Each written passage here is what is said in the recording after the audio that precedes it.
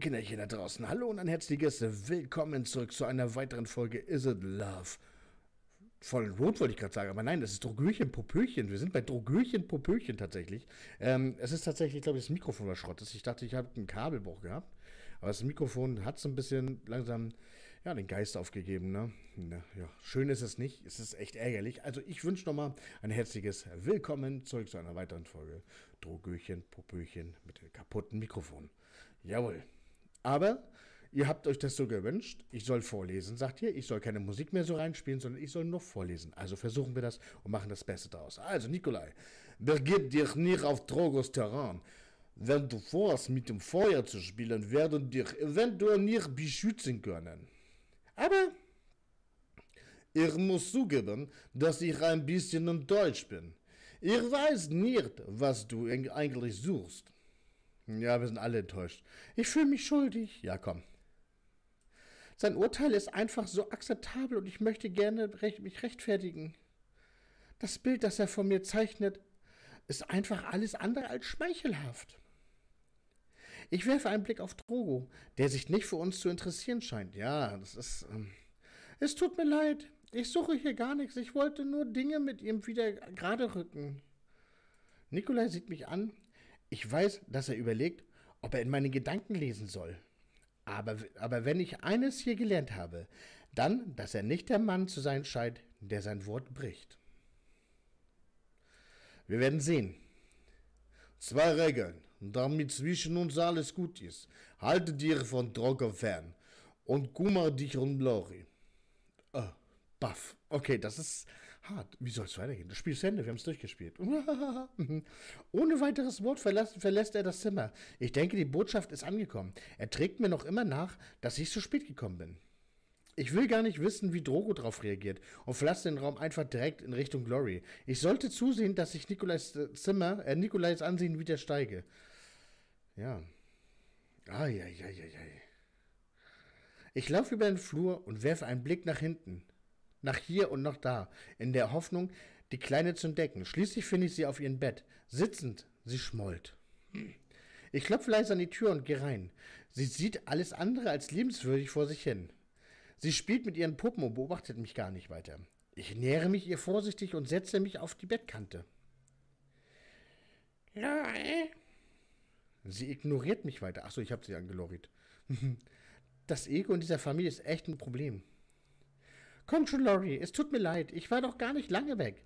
Es, es gibt keinen Grund, so ein Gesicht zu ziehen.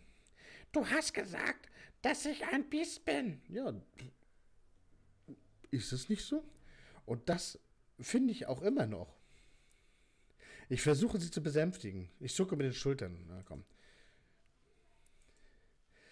Weißt du, das habe ich nur gesagt, weil ich wütend war. Ich glaube dir nicht. Du lügst. Aber nein, Lori, ich versichere es dir. Ich sehe, dass du mich nicht magst. Ja, das sehe ich doch bei dir auch. Aber nicht doch, Lori. Schau, ich wurde angestellt, um mich um dich zu kümmern. Und mache, manchmal passiert es eben, dass dir, ein, dass dir eine meiner, meine Entscheidung nicht so gefällt. Aber das ist ganz normal. Meine Arbeit besteht darin, Entscheidungen zu deinem Besten zu treffen, selbst wenn sie dir nicht immer passen. Das ist mir egal. Alles, was ich will, ist ein Kindermädchen, das mit mir spielt und das auf mich hört. Und ich möchte eine Inka, die nie immer hier rein und rauslaufe, verdammt Axt. Was möchtest du immer hier? Ich krieg mich Knäpse.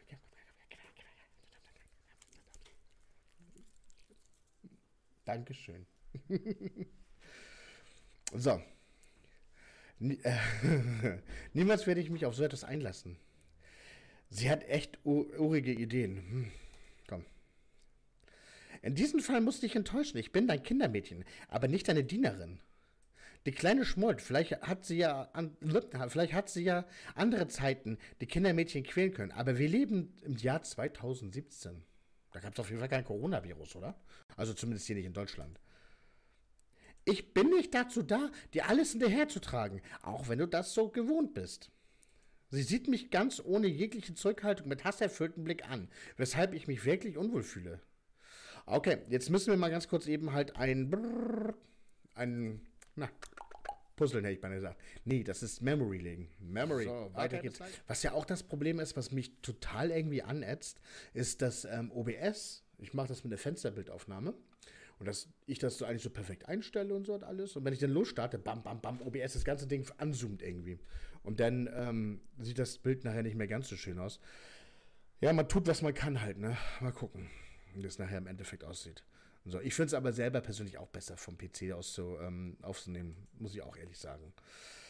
Das ist ein echtes Problem. Vielleicht sollten wir beide unser Bestes versuchen, um uns gegenseitig zu verstehen. Diese andauernden Konflikte zwischen uns sind für mich ja genauso anstrengend wie für dich, weißt du? Laurie bleibt bockig und schaut, schaut rein wie drei Tage Regenwetter. Trotzdem bin ich davon überzeugt, dass wir durchaus miteinander klarkommen könnten. Du bist ein intelligentes Mädchen. Du weißt, dass deine Brüder Regeln aufgestellt haben, die deinem Wohlbefinden dienen. Na und? Du bist keiner meiner Brüder. Das stimmt, aber ich folge ihren Anweisungen, wenn es darum geht, mich um dich zu kümmern. Und sie wollen das Beste für dich. Schön, und ich bevorzuge, bevorzuge es, wenn sie sich um mich kümmern. Schon, dass Papa nicht da ist, geht ja nun mal gar nicht, der blöde Sack. Ich umarme ihre Schultern. Ich nehme ihre Hände als Zeichen meines Mitgefühls. Ja, ich glaube, sie ist ja trotzdem noch ein Kind, auch wenn sie vielleicht 800 Milliarden Jahre alt ist. Aber trotz all dem bleibt sie irgendwie ein Kind. Ne? Sie bleibt für immer Kind und das wird sich auch nicht ändern. Ja. Und dann wurde sie wahrscheinlich verwöhnt und so. Also ich glaube, ähm, ähm, so, so ein gewisses Lernen ist dann, oder Erziehung ist dann, glaube ich, ganz vorbei. Angenommen, sie wird 500 Milliarden Jahre irgendwie ähm, scheiße erzogen, dann kannst du es innerhalb von drei Jahren nicht machen. Das geht nicht. Das ist dann vorbei. Ne? Das ist vorbei. So, was machen wir? Ich umarme ihre Schultern oder ich nehme ihre Hände als Zeichen des Mitgefühls. Ich glaube, wenn wir ihre Schultern direkt umarmen, dann kann sie uns ja gleich aufessen. Und das ist tatsächlich, wenn, wenn mich jemand ankommen würde, ich bin sau auf den oder was, dann würde, der kommt gleich an, oh, komm mal her. Dann würde ich sagen, oh, nee, lass mal bleiben, weißt du? Und dann nehmen wir lieber die Hände. Das ist normal. Aber weißt du, sie können nicht immer für dich da sein. Sie haben ja auch noch ihr Leben. Kann sein, aber wer kümmert sich denn um mein Leben? Na, ich. Na gut, liebe Leute, ihr seht, Laurie ist so eben halt Laurie. Ich glaube, da kann man so viel reden, wie man möchte. Es hat einfach keinen Zweck. Aber wir sehen uns wieder in der nächsten Folge. Ich hoffe, euch hat die Folge gefallen und wir sehen uns zum, Ich hoffe, wir sehen uns in der nächsten Folge. Bis dahin. Ciao, Freunde.